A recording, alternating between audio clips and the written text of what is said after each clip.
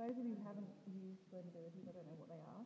They are Stampin' Up new um, alcohol-based markers. So they're different from the water-based markers, and they get the most phenomenal results with colouring. That is basically um, one of the examples that you can see of blendability.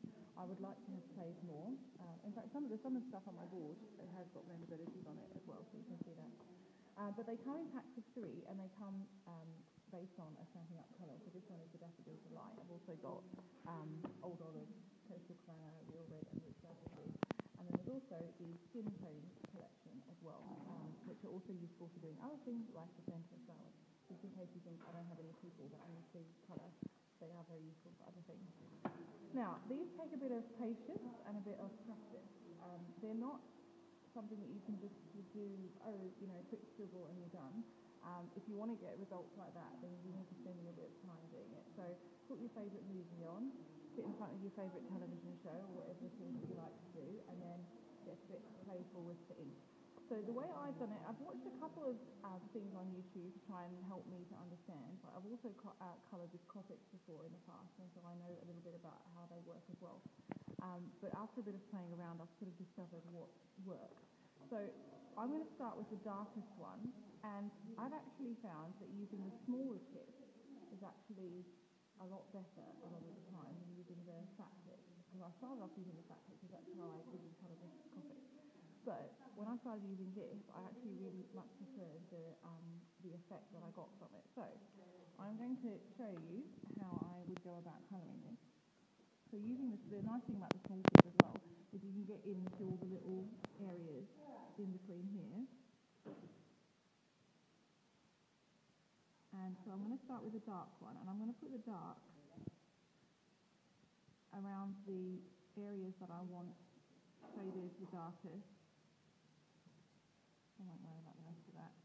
I put a little bit underneath here because I try and think about how the light would um,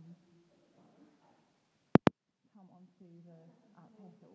And these bits here, which kind of overlap, they kind of curl over, it would have a bit of a shadow underneath them. So that's how I um, do those. So I'll do a couple of petals so you can see. I should do the whole flower, but you might get bored. Hmm? I wouldn't, but you might. So I'm just going to put, you don't need to have a lot of the darkest amount, the darkest colour. Okay? Um, the reason I've got the plastic bag underneath, by the way, if you're wondering, is because they do bleed through, and so you don't really want to get it on the table. The table is not yours. Um, so have something underneath, and plastic obviously works quite well because it's not going to bleed through plastic. Um, so there's your darkest one. Then I'm going to get the middle one, and I'm again going to use the small tip. And I'm going to go to where I've done that, the darkest one, and I'm going to scribble over the top. And I kind of like to do it in circular motions.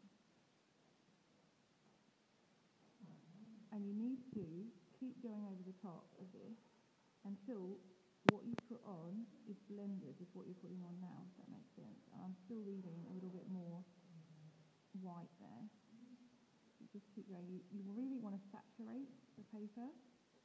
Um, it's not, and I think when you've been used to using the other type of markers, this kind of perhaps feels a bit odd because you wouldn't do this with the other kind of markers. But you need to to get the kind of you want to get. Okay? So really go over the top of it.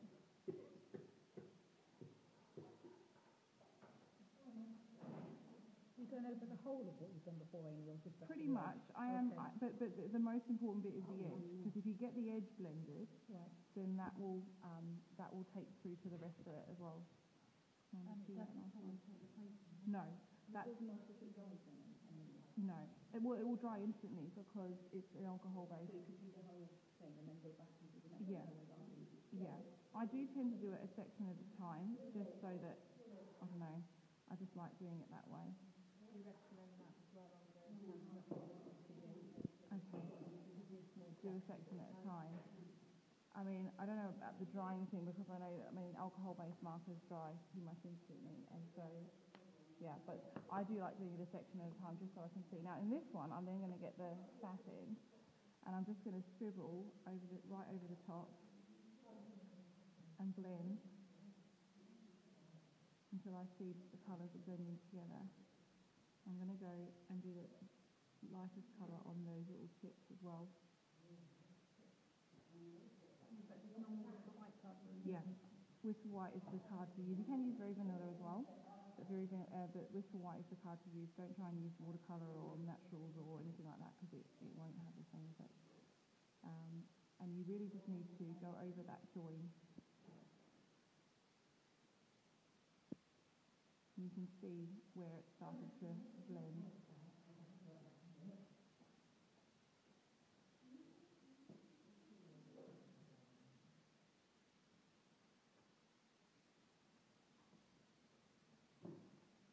Okay.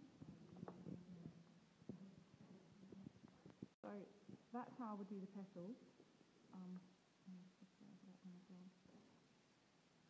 I do the petals, and you can see if I bring this in here, the correlation there. Okay, and then the inside uh, bit, I've just used the two browns from the skin tones one. I've used this as a bronze, and got bronze and mocha. Rather nice name. Um, and so I've used the bronze, the slightly li- lighter one, and again, use the, sorry, whacked my photographer there, um, with the, the, the smaller tip. And because it's so detailed, you can just go over the top and colour in those little stems or little stamens.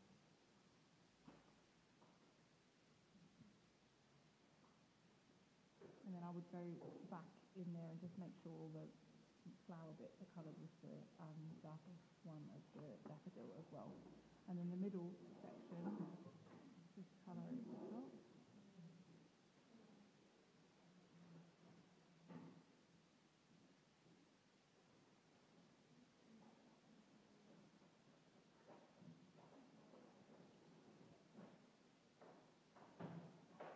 And then with the darker one, this is another way you can use the blendability. Um, instead of using them to shade, you can just use them to add um, tone and colour on top. So I just use the darkest one in the centre,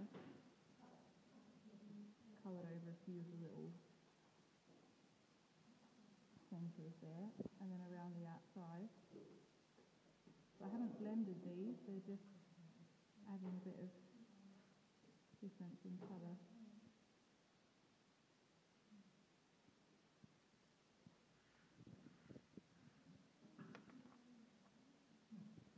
And again, you can see the finished one there.